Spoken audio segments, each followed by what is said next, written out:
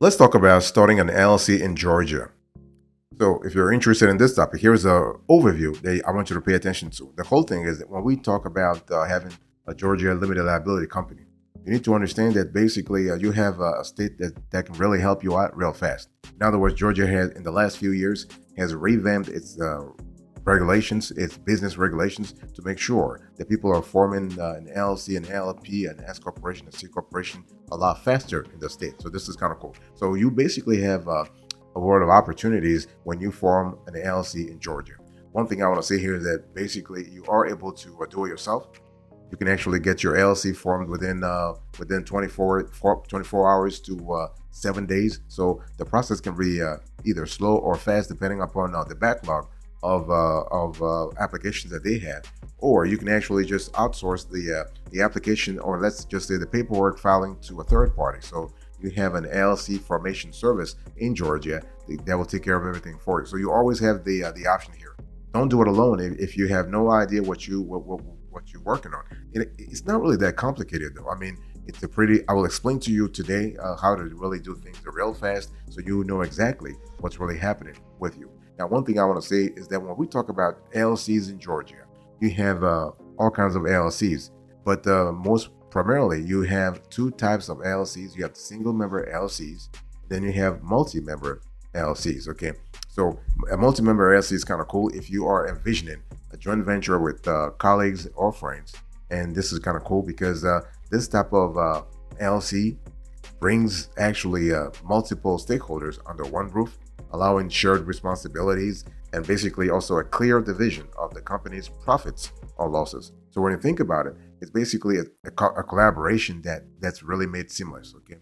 And one thing I want to say here is that you need to understand. Now, if you want to have a single member LLC in Georgia, that's totally fine. I mean, if you're by yourself, if you're a solopreneur, if you are, if you just want to do things yourself, that's kind of cool because basically you have the benefits of limited liability uh, protection, if you will, okay, paired with straightforward taxation. And this is kind of cool because you do not want to actually uh, like sort of, just, I, I would say, sort of uh, share the profits with anybody else. Boss, welcome back to the show. It's really a pleasure to have you here. Make yourself comfortable. You are going to enjoy today's conversation.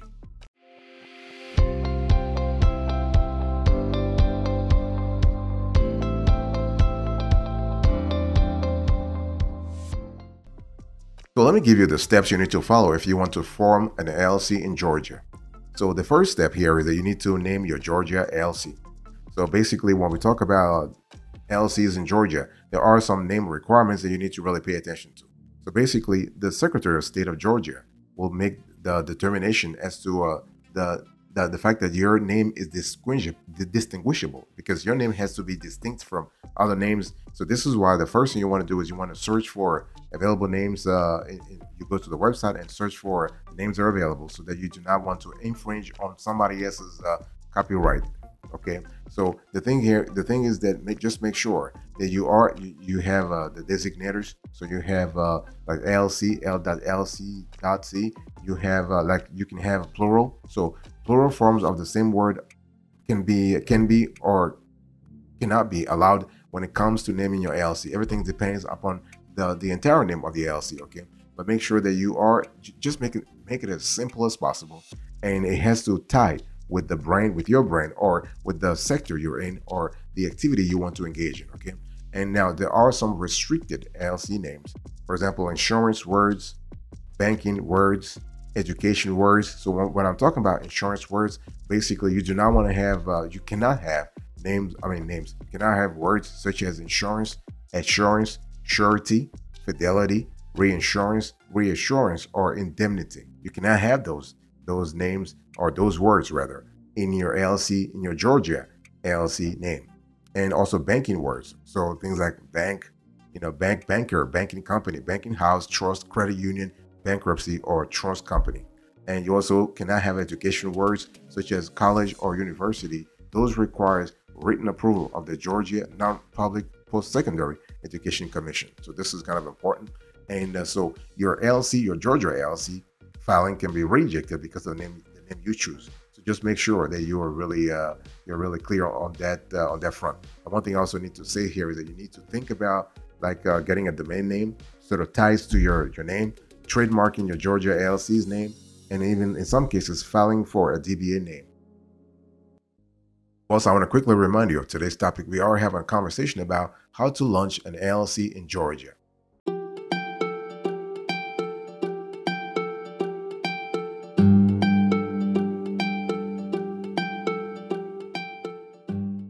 The second step you want to follow here is to appoint a registered agent in Georgia. See, the whole thing is that uh, if you are going to have a, an LLC in Georgia, you are going to be served from time to time some paperwork, right? Can be legal paperwork, it can be tax uh, related paperwork, it can be uh, government paperwork. So you want to have uh, someone to actually do to actually take care of things for you. So when we talk about a registered agent in Georgia, this is basically the person or business designated by your LLC to receive any official documents communication, or service of process. Okay. And uh, so the, the registered agent is viewed by the state as the official mailbox for your LLC. They need to be available at their given address during business hours without exception so that they can accept legal notices in person. In person, okay?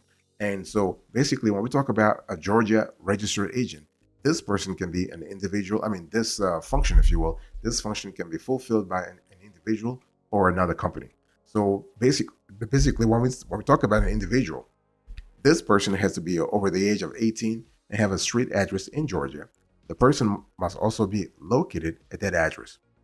And uh, a, a Georgia registered agent can also be another company. So basically, there are registered agent service companies that can serve as your registered agent.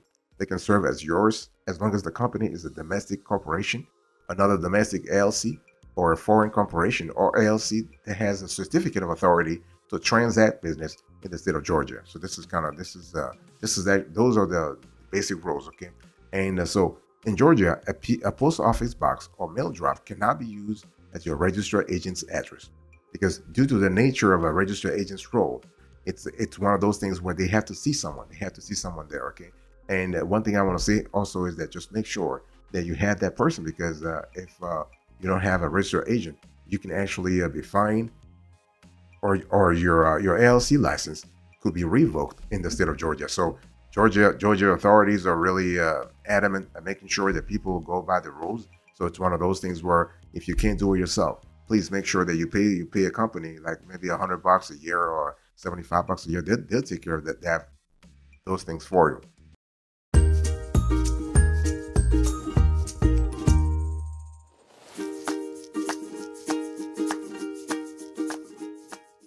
Step number three, you need to uh, file your Georgia Articles of Organization, okay? And uh, we talk about uh, filing your Articles of Organization. You are going to uh, basically uh, let Georgia know, the state of Georgia know, what's really happening with your LLC. In other words, you want to include things like your the name of your LLC or valid name reservation number if you already have uh, reserved it, your, your name and address, a valid email address, mailing address of the principal office location, the name and address of your registered agent, the name and address of each organizer in case you have a multi-member um, LLC, for instance. You need to have, uh, you need to include, in some cases, any provisions you may need to add to your articles of organization. Again, here this is optional, but you know it, it, it happens. And basically, you got to put the credit card you will pay to register your Georgia LLC. Okay, and uh, so to register your your Georgia LLC with. One thing I want to say here is that um, the initial filing fee is actually uh, it, it really starts at about $100 and you can pay it online via Visa, MasterCard, Amex, or Discover card. Now, $100, this is actually the price as of the date of this show. Maybe by the time you're watching this, price might go up to 150 or 100, whatever. I mean, you know, cost of living, uh, what we call COLA, cost of living adjustments. And one thing I want to say here is that if you want to change uh, your uh, Georgia LLC, this is totally fine, not a problem. You you you don't need to file your articles of uh, organization again. So to make most uh, all the changes to your articles of organization, you need to file Georgia articles of amendment along with a fee. And if you need to file an amendment, basically you you, you can either you can either do it do it yourself, or you can actually uh, go through uh, an LLC formation service and talk to uh, their amendment filing service. Okay, and they can handle it. They can handle things for you as well. And basically, when you actually file your uh, articles of organization online, you, the this is uh, it could take probably two to three days. In some cases, it can go all the way to ten days to, uh, to for the whole thing to be processed. You always have same day processing for expedited filings. Now you might have to pay a, little bit of extra. That's totally fine, but but it's just a lot faster. And one thing I need to say is that once your articles of organization are approved and you're and you have uh, you know really uh, congratulated yourself, don't forget to mark your cal- your calendar to submit your annual registration. This is also known as an annual report in other states. Whilst I want to quickly remind you of today's topic, we are having a conversation about uh, how to form an LLC in Georgia.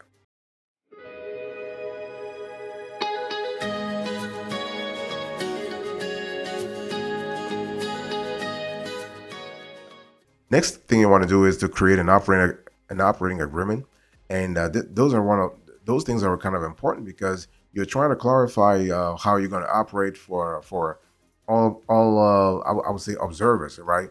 Regulators, stakeholders, investors, and, and so on and so forth. In some cases, some banks want to rate also the operating agreement of your LLC, especially in Georgia. Banks are really sort of a thorough thorough there. So basically, operating agreement for LLCs are not required in Georgia, right? But having one is always a great idea. And uh, so an operating agreement will cover important things like the rules that your company will follow, how finances will be handled, the business structure, and how decisions will be made. Now, let me say this. Basically, you have on, on the net, on the internet, you have all kinds of templates when it comes to uh, operating agreement. So you can, you know, feel free to download those, uh, the, one of those templates, and uh, sort of uh, you can customize, you can customize your your, your the, the file you downloaded to uh, to suit your needs. Now, if you're having uh, quote unquote a complex LLC, or you have a, lo- a larger number of uh, members, it's just a lot better to pay a, a lawyer. I mean, don't try to be uh, like don't don't don't be greedy here. If it's important, if it if you have a high stakes sort of uh, a high stakes sort of uh, LLC, then just hire hire a uh, an attorney. Okay. Now, so in the LLC uh, operating agreement, you want to have LLC details, profit distribution, dissolution, member re- member responsibilities. Okay. And uh, so when we talk about member responsibilities, you want to clearly spell out who is responsible for the day-to-day uh, business operations. And in terms of uh, dissolution, you know, how will things happen? And one thing I need to say here is that all members uh, need to sign the agreement. Okay, so if you're creating an LLC with other members in Georgia, all parties involved should sign it. This formalizes their agreement to the terms and conditions. Some LLCs in Georgia even have their operating agreements notarized. Okay, it's not really uh, needed, but you can do it if you want to add an extra layer of, uh, you know, official. Uh, let's just say officialization, if that's even a word, to the whole uh, operating agreement. And uh, so having a, uh, an, uh, an agreement is kind of cool because it houses the rules of your LLC. Okay, you'll have written agreements on how disputes will be handled. It outlines the structure of your company. It provides also additional asset protection because by clarifying which assets are part of the business and personal, you add another layer of protection between legal and uh, legal issues. You know, and uh, yeah, because stuff happens. You never know.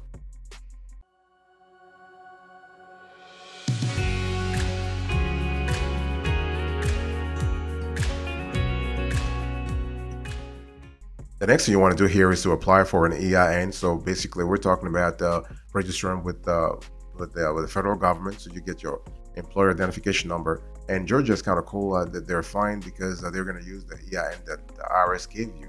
You're going to use it also for for Georgia. Okay. And one thing I want to say here is that you need to understand you are you, you need to register your business with the Georgia Department of Revenue. You, you got to have that. And uh, so the EIN, think of the EIN as your uh, as your uh, your company's your LLC's uh, social, if you will. It's actually a nine-digit number, and this is assigned to LLCs from the IRS. And it, it really uh, this is kind of cool. So you will need an, an EIN to open a bank account for your Georgia LLC. You might you might need it to actually get business credit. So if you want to apply for a business loan, if you want to apply for a business uh, line of credit, if you want to apply for business credit in general, let's say you want to have a net 30 uh, vendor account, sometimes those companies, your your stakeholders, might ask you to, to provide your EIN. And the, the same applies if you want to register, if you want to have a DUNS number. Let's say you want to have an account with uh, Dun and Bradstreet sort of kick off your business credit uh, opportunities. Then uh, you you will need to actually have uh, an EIN. And so what I want to say here is that well, once you have your EIN, it doesn't mean that you you're paying taxes uh, that the company is not paying taxes. The, the LLC is not paying taxes. So we have with LLCs we have double tax. We have uh, we don't have double taxation as we have with C corporations. So you actually uh, only pay taxes once. You pay taxes federally. So in other words, when you file your information return form 1065 at the end of the year with the IRS, you basically just uh, include a, a, a, what we call informational return, basically what the company did, how much it made, how much money it made, and you have to attach all the schedules K1 and uh, all the members, the LLC members, have to pay taxes at the at the personal level when they file their uh, their Schedule C. So this is uh this is uh, really important, and also, but now the consideration might might change at the Georgia state level. So you might need to uh, pay something at the state level, and uh, in addition to uh, the individual level. So when you file your, you might have to file your Georgia business taxes, but also your personal taxes. So again, it's one of those things where rules change all the time. So just uh, go to the Georgia Department of Revenue to get more information.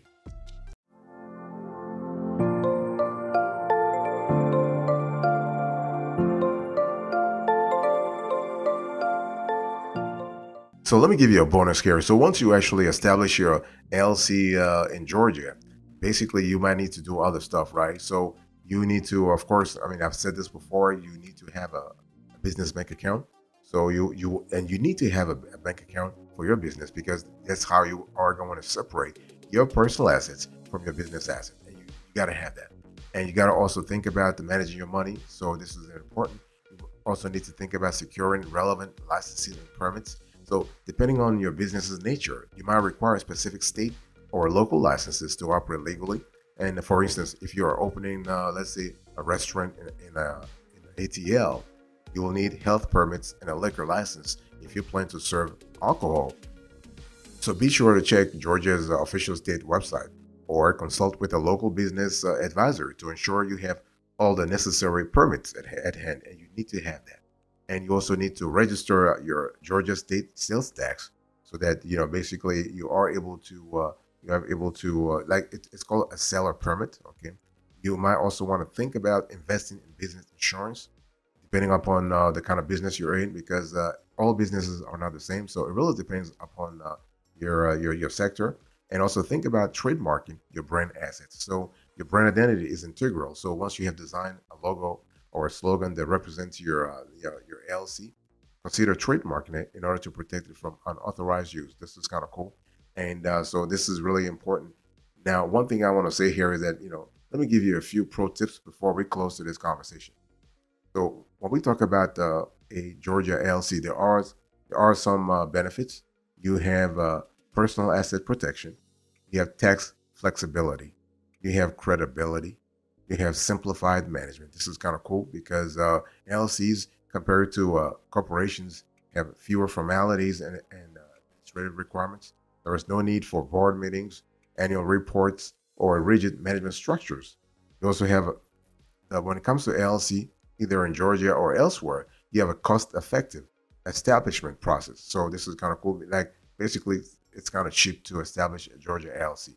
And uh, so again, the state fees for forming the Georgia LLC range from $100 to $145, depending on factors such as your method of filing and whether you choose to reserve your business name.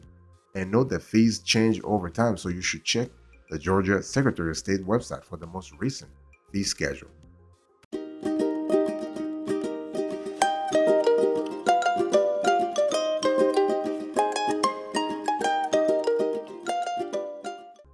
Thank you so much for your attention. I really appreciate it. In today's conversation, I'll just explain to you real quick how to start an LLC in Georgia. So uh, I the, the, the, steps are, first of all, I spoke to you about the types of LLCs uh, in Georgia. So single member LLCs and multi-member LLCs. Then the steps you have, you're able to name your Georgia LLC, appoint a registered agent in Georgia, file your Georgia Articles of Organization, create an operating agreement, and apply for an EIN. Thank you so much. God bless you. I'll speak to you another time. Until then, remember, stay marvelous.